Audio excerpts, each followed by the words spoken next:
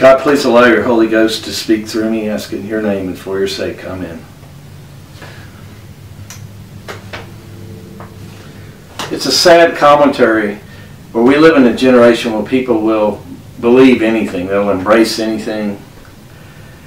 They seem to be the most relativistic bunch on the face of the earth today, as opposed to past times. They're always in your face constantly with blasphemies and taking the Lord's name in vain. They've become desensitized overall today. I mean, we live in an insane society where there's no fear of God anymore. People, they're not afraid of God. I mean, folks use the, the word hell just randomly. Folks use the word hell the word hell has no punch anymore when they use it. They just use it as a slang, as a part of figure of speech or something. They don't understand what he means.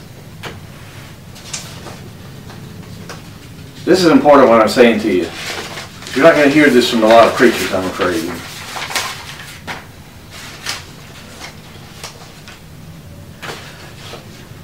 The Bible's not changed. The Bible doesn't have to prove anything. The Bible is the truth. The Word of God is the truth. It Doesn't matter. Doesn't matter if the preachers don't preach on hell anymore. It doesn't matter if the Bible schools don't teach on hell anymore. It doesn't matter. That doesn't change the fact that Jesus Christ preached on hell more than anyone else in the Bible, more than Peter or Paul or anyone else. You know, in this day and time, this relativistic day and time, it's not popular to take everything that Jesus Christ taught and preach on it anymore.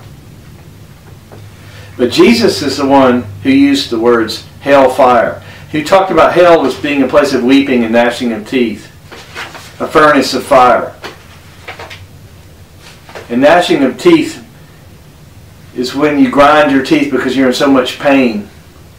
You're in unbelievable pain I hope you're listening to what I'm saying. Because hell is a real place. You don't want to go there. In the Bible, it makes declarations, it makes definitive statements. It declares things to be true. You can believe the Bible or you can reject the Bible. But that doesn't change the fact that the Bible is true. Jesus showed up 2,000 years ago, as a lowly Galilean, as a carpenter, he preached about hell. He preached about it being a place. If you're smart, you only have half intelligence, you're going to be thinking about what's going to happen when you leave this. You're going to be thinking about what's going to happen when you leave the world one day, when you die. Because everybody's going to die you'd be thinking, you should be thinking about where is your soul going? If you got common sense, you should be thinking about the one day you're going to die. Be thinking about where's my soul going? Where's your soul going after you die? You should be thinking, are you prepared? It doesn't matter, again, if the churches today have stopped preaching on hell. It doesn't matter if the churches today have stopped preaching on hell. It doesn't matter that the Bible colleges don't teach on hell. It doesn't matter. Hell is still a place that you're going to have to deal with one day. Somebody my friend died today and went to hell. If you don't listen to anything else, which you should listen to what I'm saying, what the Holy Ghost is saying through me, but listen to this. When you die without Jesus Christ, you go to hell. Hell is a place, therefore, that awaits you. Hell is a place, therefore, that awaits you at the end of your life if you reject Jesus Christ. Hell has plenty of patience. It doesn't care if you live 150 years. It's waiting. If you don't accept Jesus Christ as your Lord and Savior, if you reject Jesus Christ, you're going to go to hell. It's very patient. It can wait. It doesn't matter how big you are on this earth, how popular you are, how famous you are, how rich you are. If you die without Jesus Christ, if you reject, if you die without Jesus Christ, if you reject Jesus Christ, you'll end up in hell. That's why Jesus came 2,000 years ago and died a horrible death on the cross. The crucifixion is a horrible death. That's why Jesus came 2,000 years and died on the cross and rose from the dead. He died to keep you out of hell.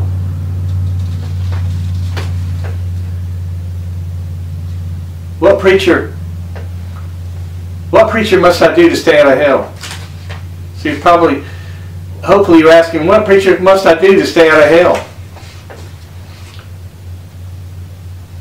What must I do, the Philippian jailer said to Paul and Silas, to be saved? What must I do? And Paul answered him,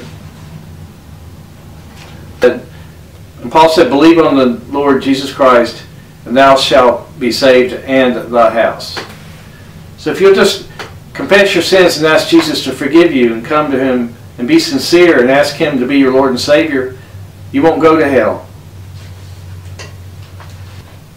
Because because Jesus Christ says, if any man comes to me, meaning him, I will in no wise cast them out. Think about Luke 16, 23, the story of Lazarus and the rich man. And when the rich man died, he lifted up his eyes in hell. He lifted up his eyes in hell. That means hell is a real place. He became conscious that he was in hell. After he was died and was buried, he became conscious when he woke up that he was in hell. Place of eternal torture and torment for rejecting God. Jesus says in Mark 9:43, "And if thy hand offend thee, cut it off. It is better off for thee to enter into life maimed than having two hands to go into hell, into the fire that never shall be quenched, where their worm dieth not, and the fire is not quenched. And if thine eye offend thee, pluck it out. It is better for thee to enter into the kingdom of God with one eye and having two eyes to be cast into hell fire. So Jesus describes hell as a place, a real place. You don't want to go there. Who goes to hell? People who reject Jesus Christ. Jesus Christ rejectors all go to hell. Don't be one that goes to hell. I hope something I said helps someone ask in your name, Jesus, and for your sake, amen.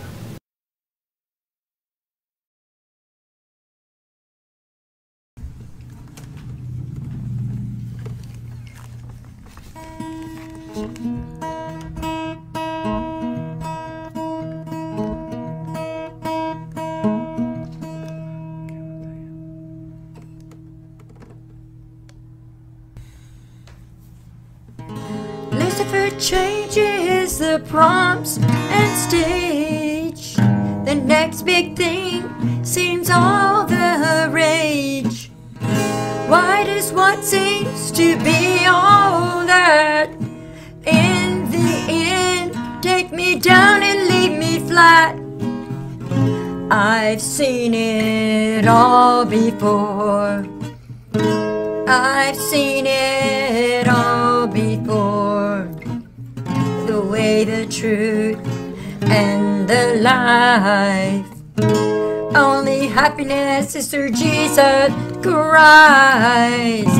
I've seen it all before. I've seen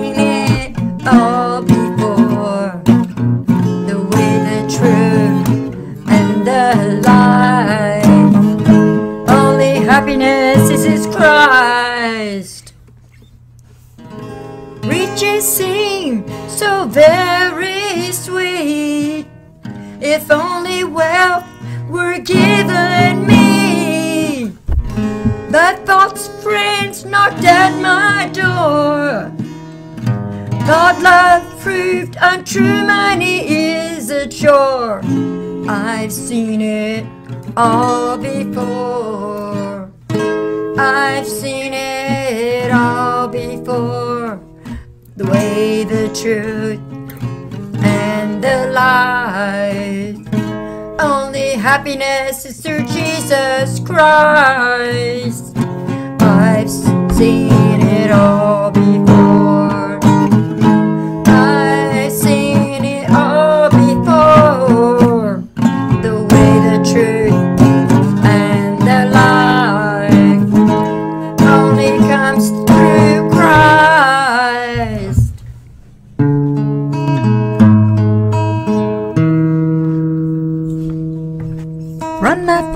see a plane, dream of flying away. Pilots look upon my farm, dreams of home with all this charm. Celebrity and seem ideal. Living a life was so